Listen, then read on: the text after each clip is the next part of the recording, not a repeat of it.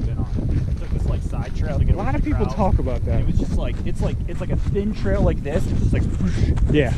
I mean, it's not. It's like easy to walk because like you have enough room to walk without falling. But, Like if you tripped or stumbled, you can easily just fall down. Like That's what happens to feet. people. They stumble off, and that's Or like I had Charlie's hand like a death grip. that's why they tell you to wear boots and have good footing and don't like, just go and be lackadaisical about it. Well, you just gotta walk. Can't be running. This place is okay though. Oh, I see snow up there. There's two. Yeah, here's the snowfields. We've never been this far. There's I've two of them. been this far. I know. I think it's- It's an hour and a half to the Rangers station.